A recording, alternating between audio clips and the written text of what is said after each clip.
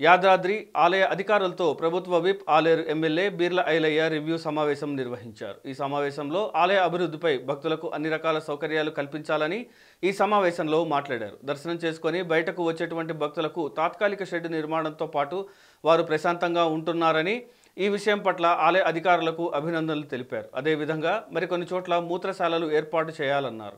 స్వాతి నక్షత్రం సందర్భంగా గిరి ప్రదక్షిణ చేసే వారికి రోడ్ల నిర్మాణం పూర్తి చేసి లైటింగ్ సౌకర్యం ఏర్పాటు చేయాలన్నారు.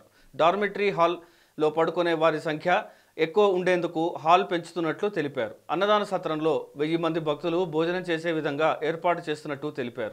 దాంతోపాటు కొండపైన ఆరోగ్య కేంద్రం ఏర్పాటు చేస్తున్నట్టు తెలిపారు. గూడూరు టోల్ గేట్ నుండి రాయగిరి కమాన్ వరకు సూచిక బోర్డులు ఏర్పాటు చేయాలని తెలిపారు. ముఖ్యంగా గత సాంప్రదాయాలను ఒక్కొక్కటిగా నిలబెట్టుకుంటూ వచ్చి ఆలయ అభివృద్ధి పేరు మీద కొన్ని సాంప్రదాయాలు బంద్ అయినప్పటికీ వాటిని నేను ఇక్కడ స్థానిక ఎమ్మెల్యేగా ప్రభుత్వ విప్గా ఇక్కడ వాళ్ళందరి సహకారంతో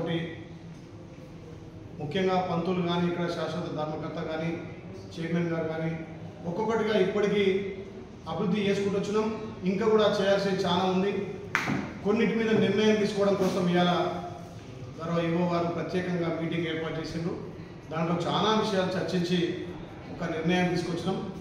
ప్రభుత్వం దృష్టికి తీసుకుపోయి అక్కడ కూడా డెవలప్మెంట్ సంబంధించినటువంటి అనుమతులు కూడా కొన్ని తీసుకొని ఇక్కడ మా అయ్యే వాటిని ఇక్కడ ఇంప్లిమెంట్ చేసుకుంటూ అక్కడ కమిషనర్ కానీ ఎండోమెంట్ మంత్రితోటి తీసుకున్న నిర్ణయాలు గౌరవ ముఖ్యమంత్రి దృష్టి కూడా కొన్ని తీసుకోవాల్సిన అవసరం ఉంది.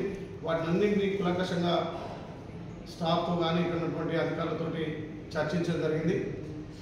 గతంలో ఏదైతే సాంప్రదాయబద్ధంగా గత వందల సంవత్సరాలు జరుగుతున్నటువంటి సాంప్రదాయాలను మళ్ళీ పునరుద్ధరించి వచ్చే రాష్ట్ర నలుమూల భక్తులకు ఎక్కువ వసతి కల్పించాలనే ఉద్దేశంతో ఒక్కొక్కటిగా అడుగులు ముందుకేస్తున్న క్రమంలో ఈఆర్ కూడా కొన్ని కీలక నిర్ణయాలు తీసుకోవడం జరిగింది.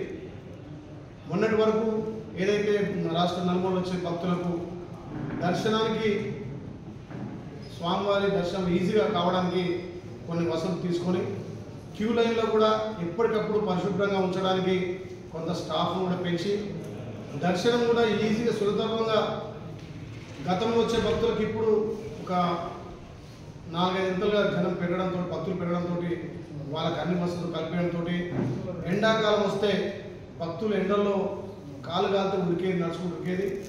ఎవరో ఏ వారి మంచి నిర్ణయం తీసుకొని ఆ పందిళ్ళు కానీ వాళ్ళకు నీళ్ళ ఫెసిలిటీ కానీ అన్ని రకాల ఏర్పాటు చేసి కొండ నుంచి కిందకి పైకి ఎక్కడానికి భక్తులకు ఆటో సౌకర్యంతో పాటు ఉచిత బస్సు సౌకర్యంతో పాటు గతంలో ఒక ఐదు వందల మందికి అన్నదానం జరిగేది.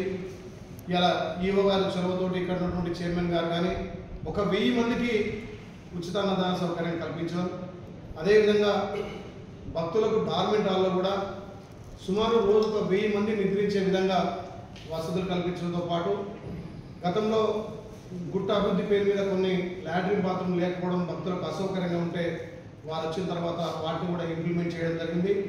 ఇప్పుడు కొత్తగా ఏదైతే రాష్ట్ర నలుమూల వచ్చే భక్తులకు దర్శనాలు ఈజీగా సులభతరంతో పాటు వాళ్ళకి ఫెసిలిటీ కల్పించుకుంటూ అదేవిధంగా డార్మెంట్ హాల్ ఇంకా ఎక్స్పెక్టెడ్ చేసి కింద శాశ్వతంగా ఉన్నటువంటి అన్నదాన సత్రంలో కొంత ఒక కోటి రూపాయలతోటి మనం ఒక ఇన్వెస్ట్మెంట్ పెడితే సుమారు ఒక నాలుగు